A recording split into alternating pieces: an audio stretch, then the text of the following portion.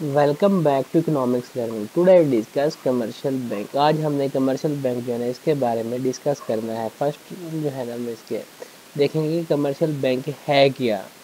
फिर हम इसकी करेक्टरिस्टिक्स जो हैं और इसके एडवांटेज और डिसएडवांटेज उनको हम देखेंगे।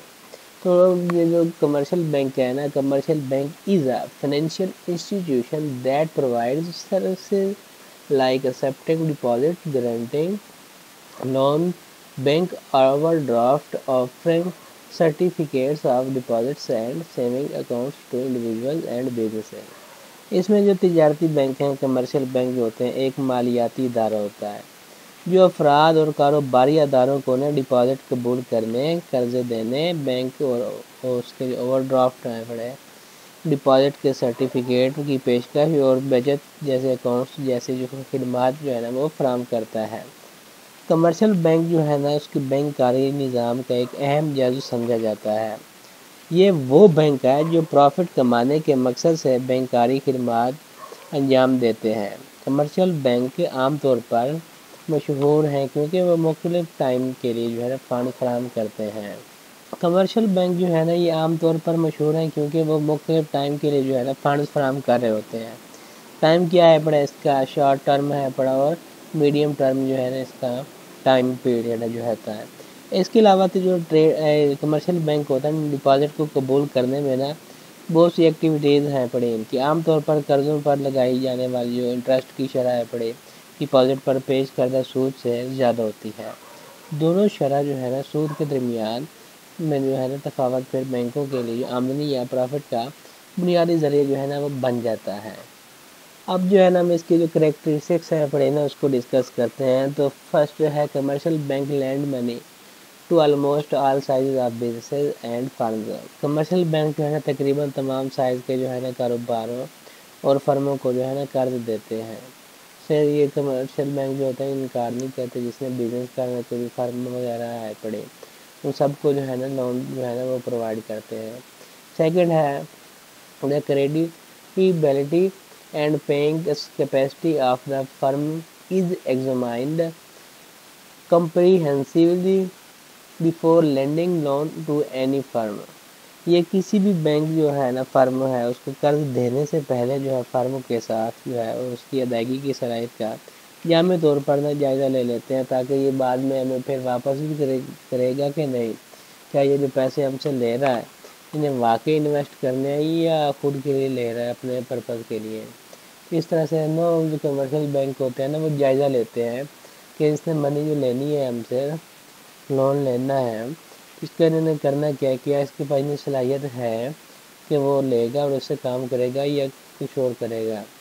फिर वापस भी करेगा कि नहीं? ये सारी चीज़ें जो है ना चेक करते हैं। थर्ड है commercial bank is an easy and flexible source of accepting and withdrawing money ये जो बैंक है ना, रकम को कबूल करने और निकालने का एक आसान और लचकदार जो है ना, ज़रिया है पड़ा these are the economically source of fund as it manage deposit and withdrawal at no cost and involves no hidden cost.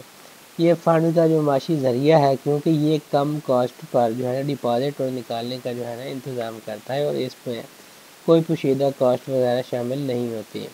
ये जो है ना, आम तौर पर कुछ सिक्योरिटीज़ के कर्ज फराम कर रहा होता है। मतलब इसने अपने पास कुछ ना कुछ जो है ना सिक्योरिटी वगैरह रखनी होती है, फिर जाके वो लोन देता है। लास्ट है loan from commercial bank do not require much formality है but have to fulfil the term and condition laid by the banks commercial bank से कर्ज़ों के लिए ज़्यादा रस्मी कार्रवाई की ज़रूरत नहीं होती, लेकिन बैंकों की तरफ़ से रखी गई जो शराइ है, उसको पूरा करना पड़ता है। ये जो डेप्ट वगैरह दे रहे होते हैं लोन लोगों को बैंक देते हैं तो उसके पास भी मतलब गहराई वाली बातें नहीं होती। लेकिन उन्होंने अपनी शराइ जो होती रखी हुई होती है उन्हें भी पूरा करना होता है देखना होता है कि अगले वाला जो है डेप्ट हम्म, लेने वाला उसने पूरा भी कर सकता है कि नहीं इन शराइ के ऊपर वो पूरा नहीं उतर सकता। अब जो है ना हम इसके जो एडवांटेज हैं पड़े ना कमर्शियल बैंक की वो देखते हैं। तो फ़र्स्ट है पड़े कॉन्फिडेंशियलिटी ऑफ़ इंफॉर्मेशन ये जो मालूम होती हैं इंफॉर्मेशन होती है, इनकी राजदारी कार्य होता है? बैंक जब फंड उधार देते हैं या डिपॉजिट कबूल करते हैं तो वो जो है ना इंफॉर्मेशन के किसी के साथ जो है ना शेयर नहीं करते बैंक सार्फिन की ज़ाती मालूम की राजदारी को बरकरार रखते हुए अपनी सार्फिन की राजदारी को अहमियत देते हैं। सार्फिन जो होते हैं, उसके या खातादार होता है, उसकी ज़ाती तफसीत बैंकों के पास जो है ना, महफूज रखी जाती है। सेकेंड है इकोनॉमिकल कमर्शियल बैंक जो होते हैं इसके वसी पैमाने पर फंडिंग का है ना, सस्ता ज़रिया समझा जाता है। इसके इकोनॉमिकल ज़रिया होने की वजह यह है कि इस पर जो प्रॉस्पेक्टिक्स वगैरह जारी करते हैं या जो इन अंडर राइटिंग फ़ीस हो या उसकी कोई और चार्जेस शामिल नहीं होते हैं।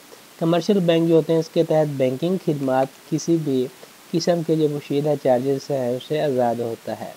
थर्ड है फ्लेक्सिबल जो कि ये लचकदार है कमर्शियल बैंकों को फंडिंग का एक लचकदार ज़रिया जो है ना फ्लेक्सिबल समझा जाता है। क्योंकि कर्ज लेने वाला जब भी फौरी तौर पर रकम या फंड की ज़रूरत हो तो बैंकों से आसानी से रकम ले सकता है। कर्ज लेने वाले अपनी सहूलत और ज़रूरियात के मुताबिक कर्ज की रकम में आसानी से इजाफा या कमी कर सकते हैं।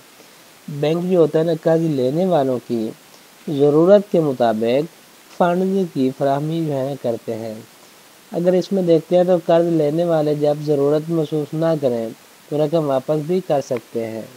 फोर पॉइंट है लेसर फॉर्मेलिटीज़ जो कम रेशमी जो चीज़ें होती हैं। जो कर्ज लेने वालों के लिए जो कमर्शियल बैंक से फंड इकट्ठा के करना आसान है, पड़ा, क्योंकि इसकी पैरवी के लिए किसी सख्त रस्मी कार्रवाई की ज़रूरत नहीं होती।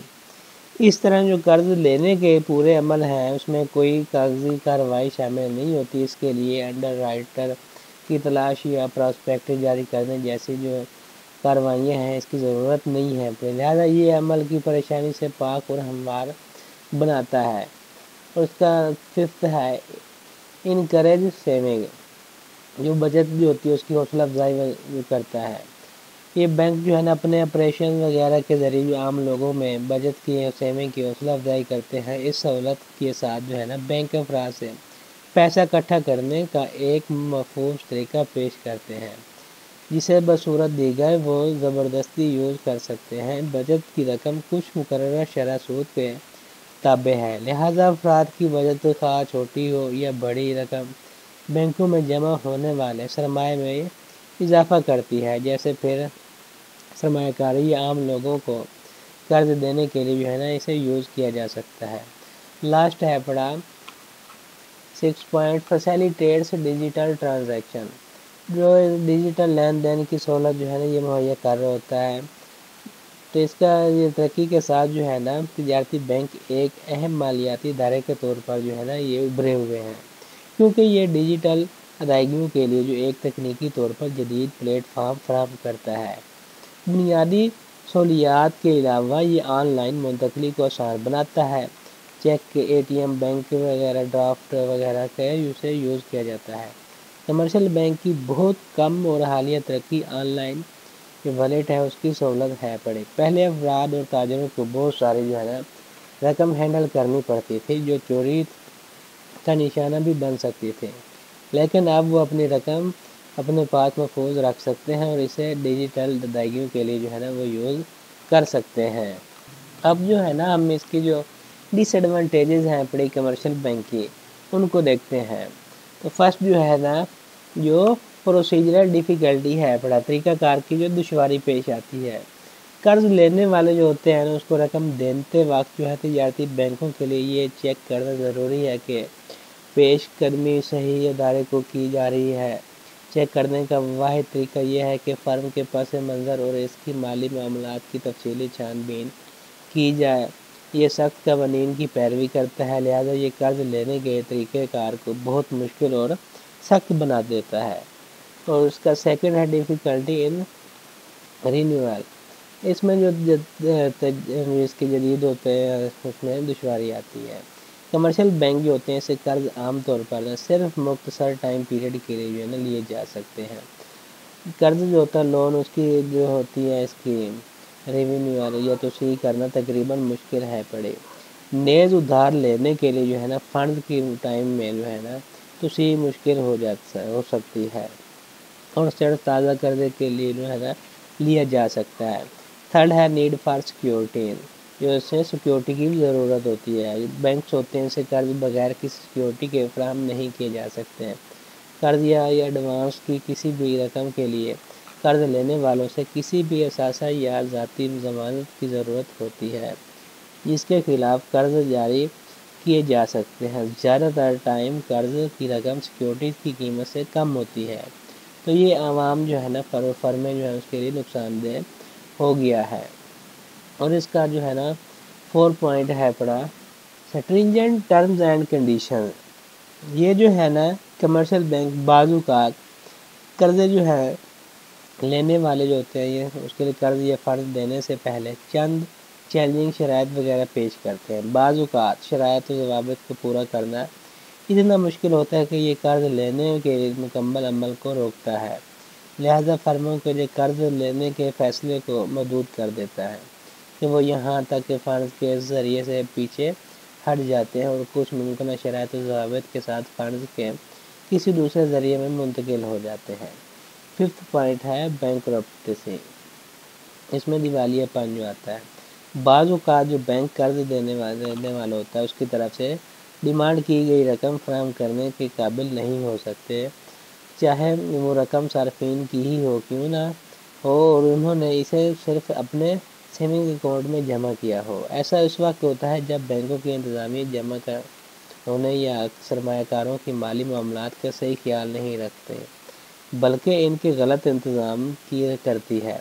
लेकिन बाज़ात ये कमज़ोर माशी सेहत की वजह से जो है ना, हो सकता है। जैसे कि सात बाजारी के टाइम हो गया, ये गाहक कर्ज़ों के लेने के ज़्यादा रकम निकाल लेते हैं। और इसका लास्ट आता है six point risk of online fraud online fraud का मुकम्मल जो खतरा होता है। बढ़ती हुई जो डिजिटल मार्केटिंग है, उसने सिर्फ़ कामों को सुकून बख्शा है, बल्कि ऑनलाइन फ्रॉड को भी जन्म दिया है। साइबर हमले से ज़्यादा आम हो चुके हैं और आजकल अक्सर एटीएम कार्ड वगैरह चोरी का निशाना बनते हैं। हैकर्स डिजिटल अदायगियों के लिए जो है ना, अकाउंट्स और पासवर्ड हैक करते हैं और ऑनलाइन जो है रकम चोरी करते हैं। इंटरनेट बैंकिंग के खेल को मज़बूत करने की जो है ना फौरी ज़रूरत है पड़े। तो ये था आज का हमारा लेसन थैंक यू